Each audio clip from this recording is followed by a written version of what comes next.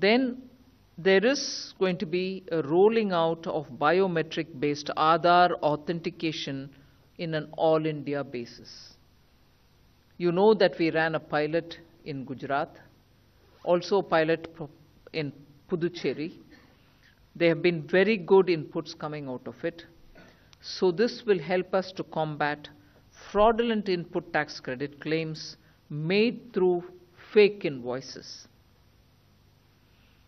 In the cases where the applicant had opted for Aadhaar authentication and where the case has been identified on the basis of data analytics and risk parameters on the system, the, these have been tried in the uh, GST Suvidha Kendras, and this will be taken up on an all India basis.